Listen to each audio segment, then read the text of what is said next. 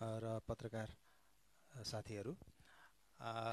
आज नेपाल सरकारको मिति दुई हजार उनासी मङ्सिर पच्चिस गतेको निर्णयको सार्वजनिकी कार्यक्रममा यहाँहरू सबैलाई स्वागत गर्दछु। अब म मान्य सञ्चार तथा सूचना प्रविधि मन्त्री एवं नेपाल सरकारका प्रवक्ता ज्यूलाई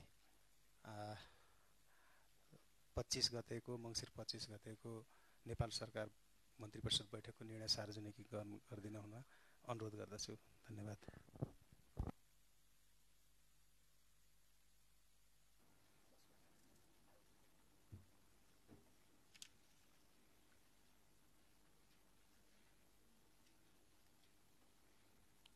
पत्रकार बन्धुहरू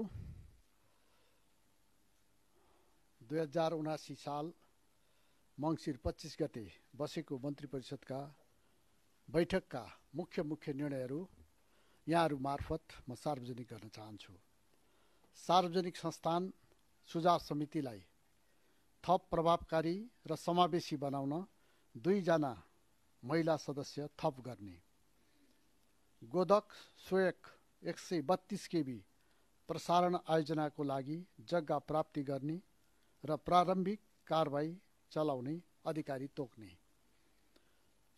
मुलुकी फौजदारी कार्यविधि संहिता पहिलो संशोधन अध्यादेश दुई हजार उनासी जारी गर्न सम्माननीय राष्ट्रपति समक्ष सिफारिस गर्ने। नेपाल राष्ट्रिय भूतपूर्व सैनिक सङ्घलाई सरकारी जग्गा लिजमा उपलब्ध गराउन स्वीकृति दिने। काली गण्डकी कोरिडोर न्यू बुटोल बर्दघाट आयोजनाको दुई सय बिस केबी प्रसारण लाइनको लागि वन क्षेत्र प्रयोग गर्न स्वीकृति दिने। राजपत्र अङ्कित प्रथम श्रेणीका सहसचिव श्री राम आधार शाहलाई नेपाल इन्जिनियरिङ सेवा समूह समूह समूहीकरण क्लस्टरतर्फको राजपत्राङ्कित विशिष्ट श्रेणीमा बढुवा गरी प्रधानमन्त्री तथा मन्त्री परिषदको कार्यालयको सचिवमा पदस्थापना गर्ने।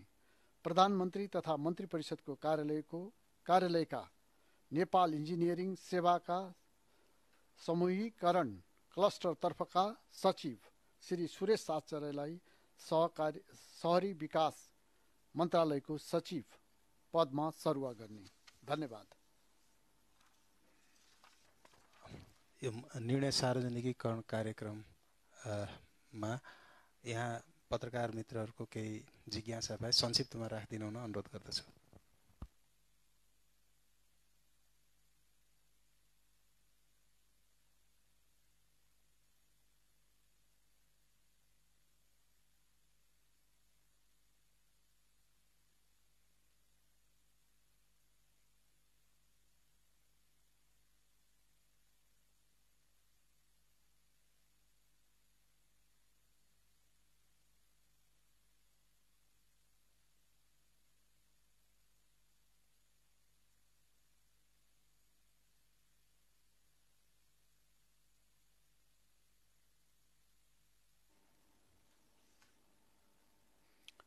तपाईँले जुन प्रश्न राख्नु भएको छ त्यसैमा उत्तर पनि तपाईँले दिनुभएको छ।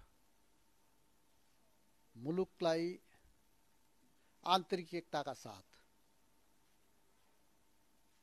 सहज वातावरणमा सबैलाई काम गर्न दिने मनसायका साथ मुलुकको राजनीतिक प्रणालीसँग असहमत रही हिंसात्मक क्रियाकलापमा संलग्न राजनैतिक दल वा समूहलाई शान्तिपूर्ण राजनीतिक राजनीतिको मूलधारमा ल्याउने उद्देश्यका साथ यो अध्यादेश हामीले सम्मान्य राष्ट्रपतिमा सिफारिस गरेका छौँ र यो विगतका सरकार योभन्दा अघिल्ला सरकारले पनि यस किसिमका अध्यादेशहरू जारी गरेको छ। यस किसिमले माफी दिने कुराहरूको सहमति गरेको छ।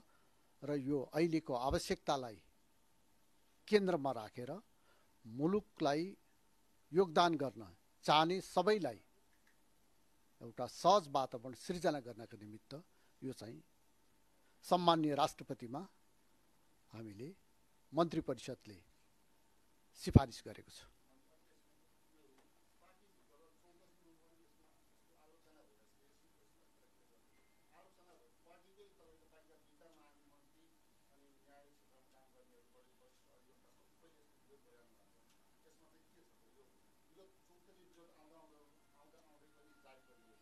मुलुकलाई अहिले के चाहिएको छ? मुलुकलाई अहिले शान्ति चाहिएको छ एकता चाहिएको छ विकास र समृद्धि चाहिएको छ। त्यसका निमित्त सबैको योगदान रहोस् भन्ने उद्देश्यका साथ यो अध्यादेशको सिफारिस गरिएको छ। यही कुरा हो। धन्यवाद।